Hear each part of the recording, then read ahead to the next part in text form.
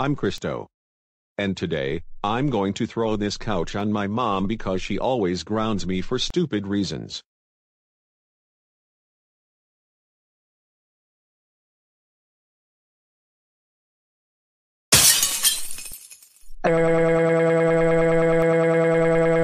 Yar.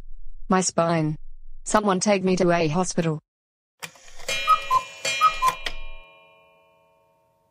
Christo. You ungrateful bastard. How could you throw the couch with your mom? She has to stay in the hospital thanks to you. But Dad, I didn't mean. No it's and Agnes, you're grounded until she recovers.